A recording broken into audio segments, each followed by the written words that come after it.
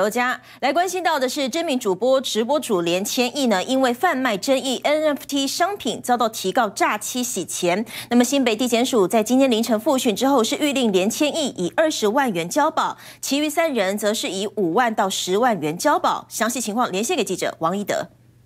是的，主播从画面中可以看到，知名直播主连千亿穿的一身黑，双手被上铐，面无表情，被移送到新北地检署接受讯问。NFT 这批精品是假？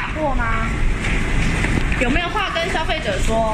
谢谢。连千亿因为涉嫌贩卖争议 NFT 商品，遭提告诈欺洗钱。警方六号逮捕连千亿、阳性 NFT 开发商、阳性 NFT 公司负责人以及徐姓客服人员等四名男子到案，并在讯后依诈欺组织犯罪条例移送侦办。警方初步调查发现，连千亿限量 NFT 声称赠送钻石，但都是大陆的山寨人工钻石，GRA 也不是国际知名的珠宝鉴定机构。iPhone 十三更夸张，竟然是展示用的塑胶模型。宾利手表也是来自对岸的贴牌商品，市价相当便宜。对此，连千亿供称他只是代言，其余部分均不知情。讯后，连千亿以二十万元交保，三名男子带着钱到地检署帮他办交保手续。另外，其他三名同样因 NFT 争议遭提告的男。则是以五万到十万元交保。以上最新主播。